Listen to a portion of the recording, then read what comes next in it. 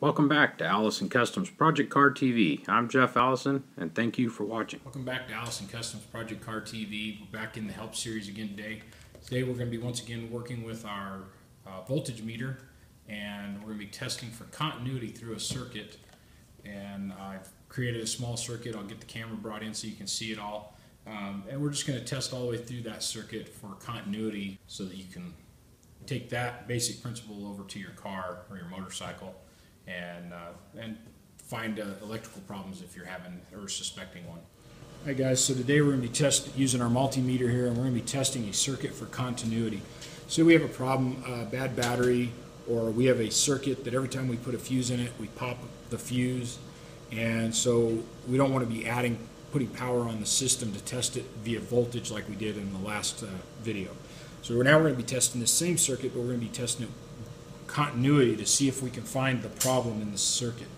So right now, um, when I test continuity through the whole circuit here, the positive wire to the ground wire, I have infinite resistance. It's, it's um, the system has, is broken somewhere.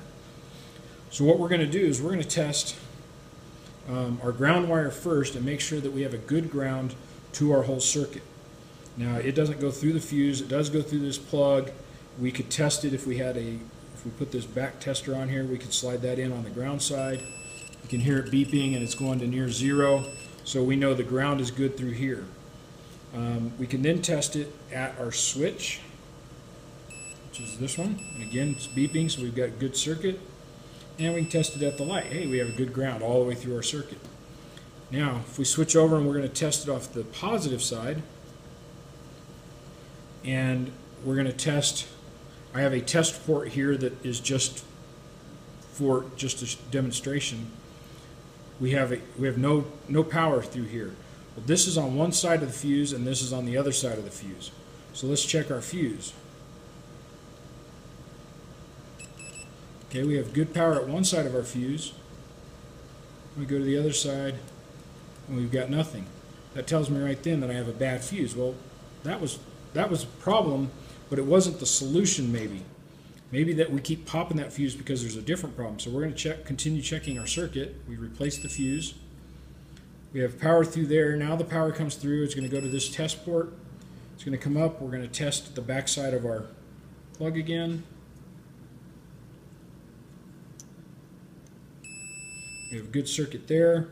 I have an additional test port on this side. We have good power there. We're going to go to our switch. We have good power coming into the switch.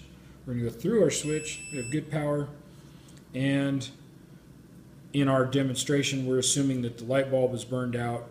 And when we would test this side, we'd still have good power, but the light bulb is burned out. Or something may have been shorted through there, and that most likely would have had a short if we were losing, fuse, losing the fuse all the time. But um, that's just the process for testing the continuity what you're looking for is a single wire or one-sided or a whole circuit has continuous power flow or ability to flow power through there. And the little multimeter with the batteries inside is sending a very low voltage uh, amount of power through this whole circuit to uh, for the test feature. So next time we're going to be testing the same circuit for a short to ground which would have been causing that blown fuse. Thanks for watching Allison Customs Project Car TV. Like us on Facebook and check us out at AllisonCustomsOnline.com.